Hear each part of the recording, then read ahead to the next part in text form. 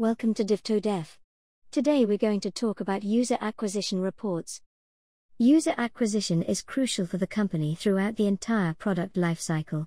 It is essential for expanding the customer base, increasing revenue, and growing the business overall. To start analyzing user acquisition in your app, you need to integrate an attribution platform using postback URLs from the integration section in the settings. Once you have integrated the attribution platform, you can start evaluating your traffic sources in the acquisition dashboard. The acquisition dashboard provides an overview of your acquisition data, allowing you to track key metrics and identify top performing traffic sources. This dashboard contains acquisition data overview by traffic sources, general ratio between paid and organic traffic, distribution of new users by countries, end day cumulative gross, and detailed information about top traffic sources in a table view. Click here to open a more detailed report. The monitoring report helps you measure the efficiency of your incoming traffic. Choose a maximum of five distinct sources, campaigns, or countries, depending on the tab, and select View Result to track important metrics such as installs, gross revenue, ARPU, paying conversion, and more.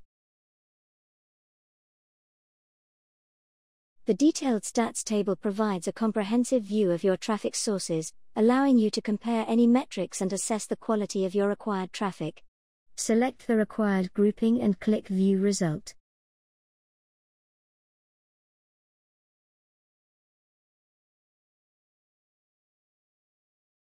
The default report period is the last 30 days, but you can change it in the top right corner. You can also set up a filter to get more detailed data.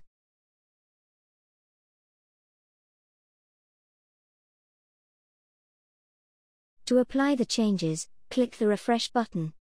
Now you're ready to explore the acquisition section of devtodev and start improving your app's traffic sources. By focusing on effective acquisition strategies, you can ensure sustained growth and success for your company in the competitive market.